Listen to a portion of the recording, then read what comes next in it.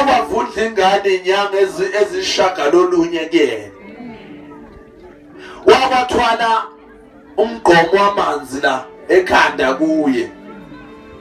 Wakwalanda inkuni ezobasa ethwele yena. Wake wasinda ngobulongo benkomo. Wathatha amakaka enkomo ophethe kuthiwa amakaka omodel c wathatha amakaka enkomo wasinda phansi. Uyena obazi ukuthi iy'ngane efanele zilale edleni uyena obazi ukuthi iy'ngane efanele zivuke esigqokeni zesikoleni.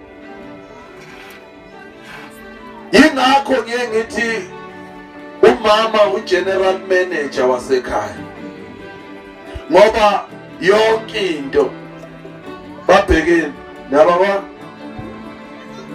sekuyabukebukela nje okungabantu niyabona? Kuba akekho umama uvele ubone ukuthi hayi akekho umama ekhaya la. Uvele ubone isho ungena nje egcekeni ubone ukuthi hayi akekho umama la ekhaya. Yingoba umama uyazi ukuthi yini efanele isize umuntu. Uyabona labo baba labo na makhehle yabona? Awa manje hayi awayithengi letime ethengelwe umamncane ekhaya akayithengi kodwa yasekhaya i-airtime.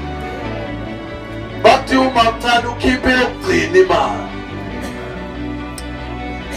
Akhuluma amadoda abheka phansi. Abheka phansi. Ngikhuluma eqini uyabona nje ngikhipha manje imali nginike